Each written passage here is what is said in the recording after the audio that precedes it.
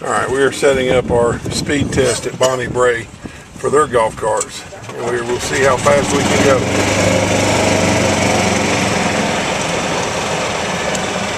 Oh, 13. 13 That's flat. already that's already faster.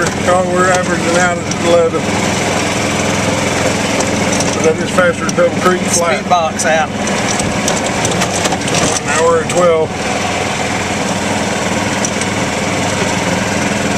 Hard to film.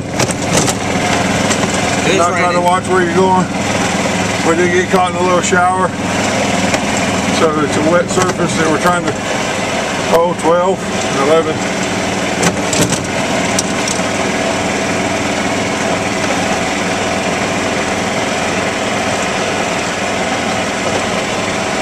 We're doing pretty good.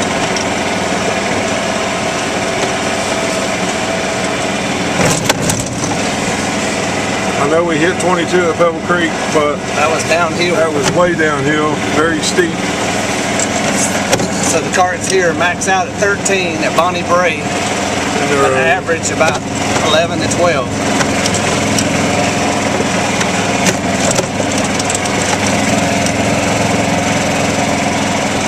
we're doing pretty good. Speed Box app.